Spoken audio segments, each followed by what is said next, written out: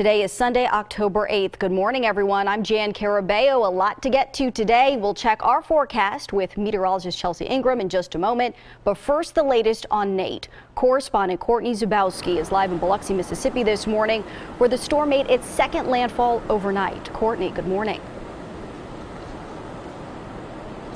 Good morning, Jan. And the cleanup is already beginning. Crews just came by and moved out the rocks that were in the road.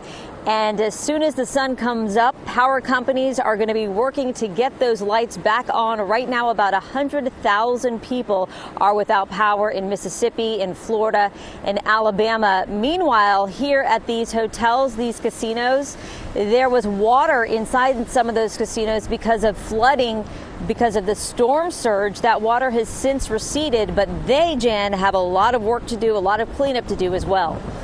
Yeah, we saw a lot of the video there. Describe some of the most severe impacts you're seeing along the Gulf Coast this morning. It's got to be storm storm surge because and the debris it left behind along one road between Gulfport and Biloxi, which is about a 15 to 20 mile stretch. We're being told by police that there are light poles in the road, that there are piers from beaches that blew off. We can't access those roads right now because there's just too much debris. We've also seen um, the flooding inside the casinos and in a parking garage.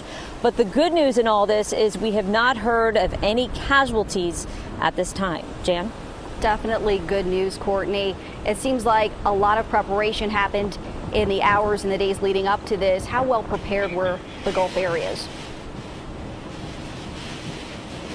very prepared. And they've been through this before, especially with Katrina in 2005. But there was a lot of sandbagging. People were boarding up their homes. People heeded the warnings. There were shelters set up. So this area along the Gulf Coast was very prepared much, Courtney. Courtney Zubowski reporting live for us from Biloxi, Mississippi this morning. We'll get back to you. Thank you.